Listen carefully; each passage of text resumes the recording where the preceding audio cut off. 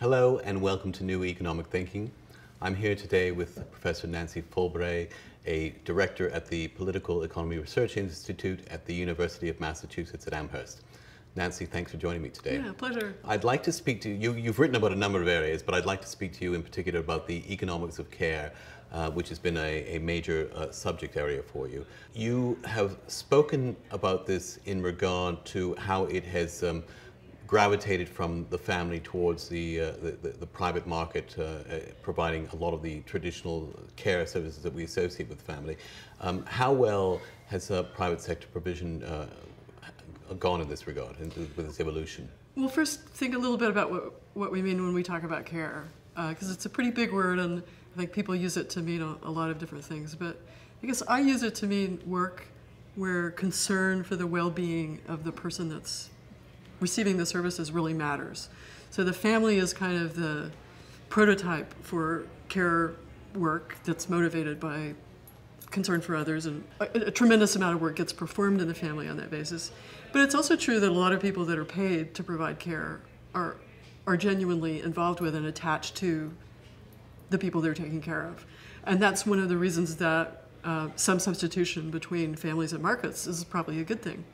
Uh, the bad things happen, I think, when the way in which market care is provided disrupts that uh, caring relationship or makes it difficult for workers to do to provide well, it, the care they well, like it effectively reduces it to an economic nexus, which in itself I would think is problematic. Well, I don't know. I think be careful because I think uh, Julie Nelson and other feminist economists have talked a little bit about how the market and the money nexus is not quite as simple as people think it is. That you can actually have a market exchange that also has some emotional content. I'm a teacher, I care about my students, the fact that I'm paid to be a teacher, I don't think that necessarily undermines the quality of the of the work that I do. So just paying somebody for a service I don't think necessarily taints it or pollutes it in some way, but it does create an institutional framework uh, that can backfire, uh, like paying a teacher to increase students' test scores instead of to really increase the capabilities of students. That's an example of using a market incentive that I, I can't I think does can and does really undermine the caring relationship.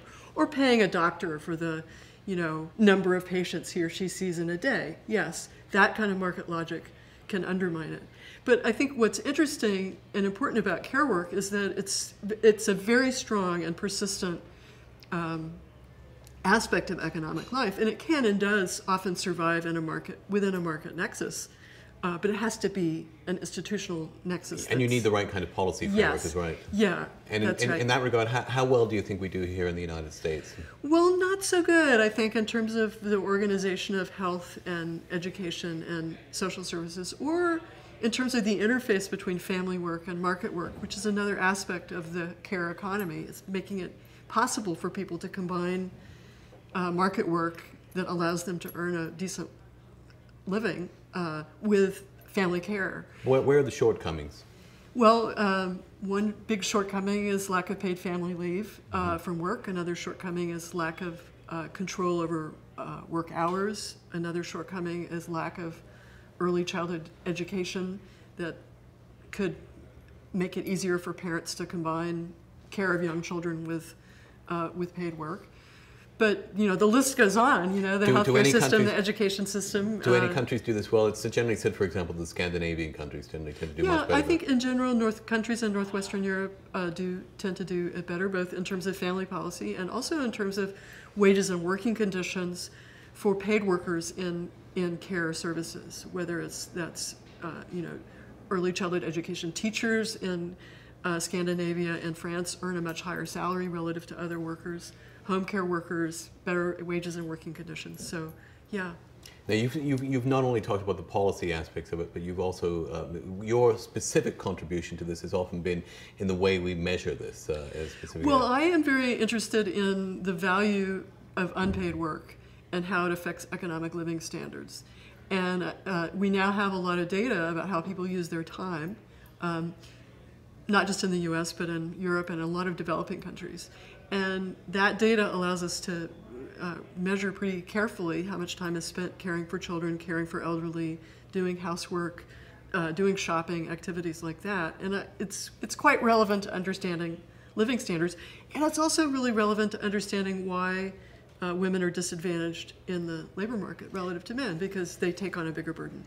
The issue of how you quantify or measure this brings to mind the question that bedeviled economists in the 1990s when they tried to uh, uh, diff- uh, impute different measures of productivity by what's called the hedonic deflator. So, and, and one of the analogies that um, is often used is um, how did the aspirin uh, contribute towards in, enhancing productivity by mitigating headaches, or the introduction of air conditioning um, to uh, in, in enhance productivity in, in the South. Uh, do, do you think that that particular measurement has any relevance to the type of work that you're doing? I think it's relevant to all forms of work, but back up a little bit because it's okay. a, actually there's a much simpler way of thinking about the value of non-market work, which is just a counterfactual. If you were not at home taking care of your child, what would it cost you to hire somebody to do it? Now, the hedonic issue comes in in that those two things are not perfect substitutes, right? Especially you, if you get to the position where you've talked about where you're in not being paid a sufficient amount, even right now in the in the care professions in many instances. Right, but those but here's another way to think about it. Those hedonic issues affect every measurement of price right. and income, and what I'm really talking about is kind of a, a simpler and um, in some ways easier to remedy problem, which is that we just totally ignore the value of non-market work and looking at living standards which I think is just wrong. Okay, so and a huge contributor to gender inequality. Well, I think uh, a, a, reluctance to to see non-market work as something that has tangible economic dimension, you know, that it can be measured and that, that one can ask what it would cost to replace it. I, I do think it's it's really important. So I'll give you an example mm-hmm. that I think, for me as an economist, is really telling. Let's say you have two families and they are demographically identical two adults, healthy adults, and two children under the age of five. And both families have a market income of $50,000. We generally treat those families as though they have an identical standard of living.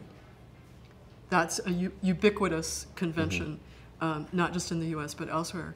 But imagine that one family has one full-time wage earner earning $50,000 and one full-time caregiver that's providing childcare, doing shopping, preparing meals, basically organizing the home. And the other family involves two wage earners each earning $25,000.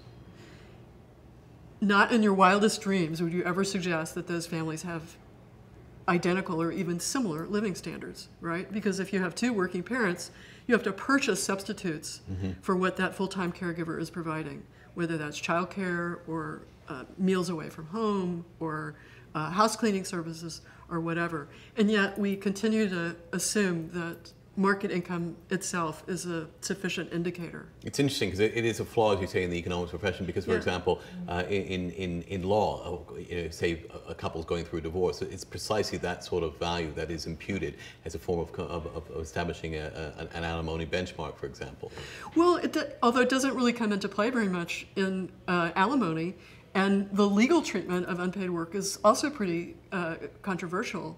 Uh, the idea that, for instance, that a wife has a, a, legal right to part of her husband's earnings while she's still married to him is basically alien to our legal system. So it comes into play in the division of property after divorce, but the, the notion that a wife should have a legal claim on her husband's earnings um, is still highly contested in a lot of states.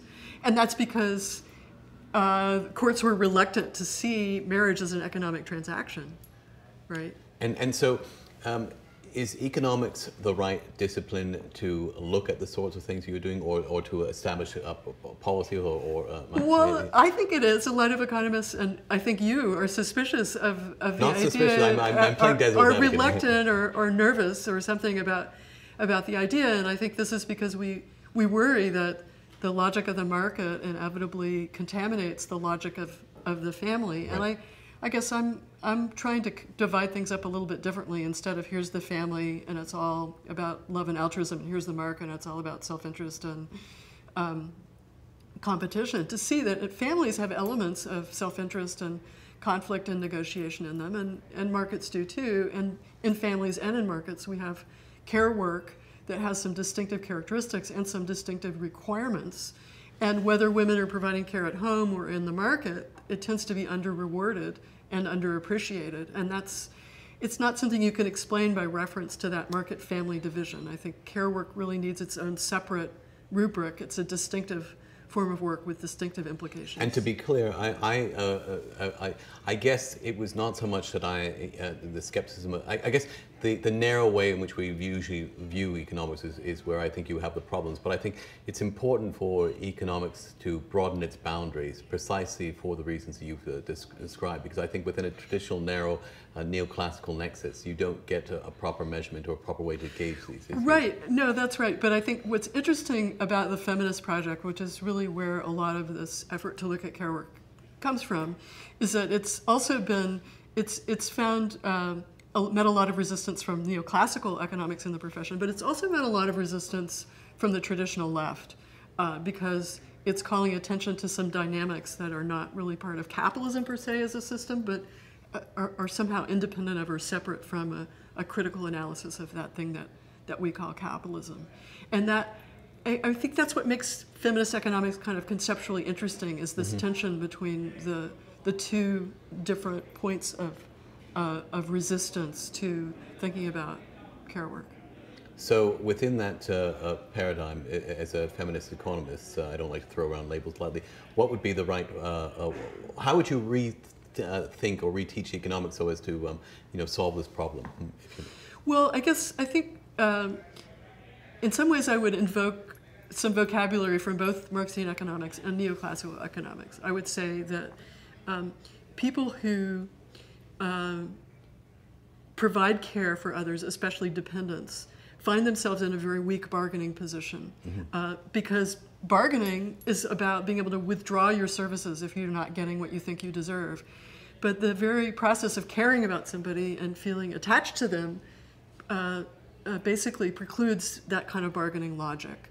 So um, to become a care provider is, in some ways, to become vulnerable, whether you're doing it in the in the family uh, or or in the market. There's a, a kind of vulnerability there that means you have to have some social norms and some institutional protections for caregivers. Unionization? And, and, and unionization is one.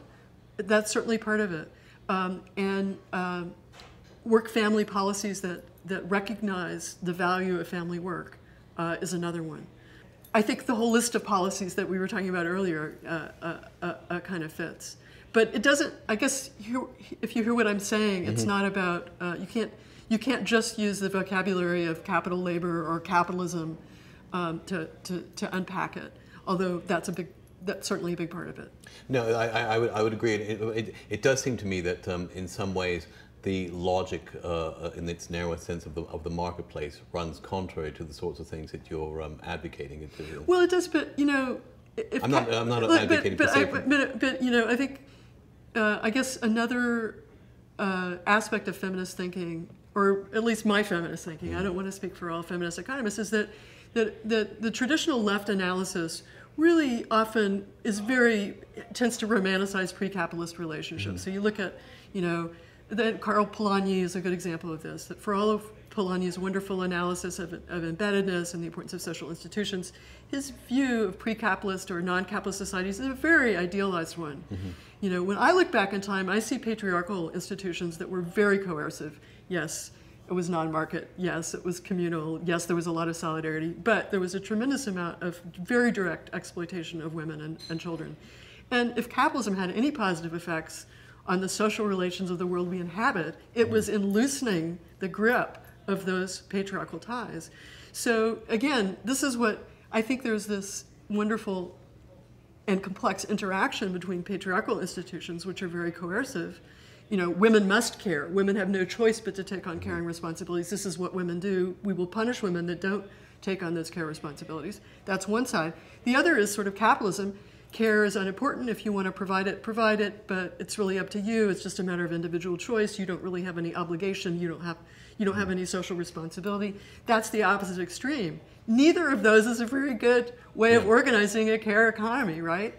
Uh, and that's that's what's interesting is that we see these two polar opposites of, of obligation, but very gendered and exploitative obligation on the one hand, and like zero obligation, everybody should just do whatever they want And so somehow you've got you, you've got to establish the uh, the sense of uh, reci- reciprocity, commu- uh, um, uh, this this communitarianism that is perhaps lacking in, in a pure Right, uh, and obligation, obligation to care for people who can't care for themselves, and obligation to think about how you should share the burden of caring for those whilst who do mitigating the themselves. coercive aspect of it as much as possible. Yeah. That's I guess the challenge Yeah. going forward. Hmm. Yeah, so I think it, I guess, you know, I think it has some very interesting philosophical and ethical dimensions as well as, as economic kind of measurement and policy issues. Yeah.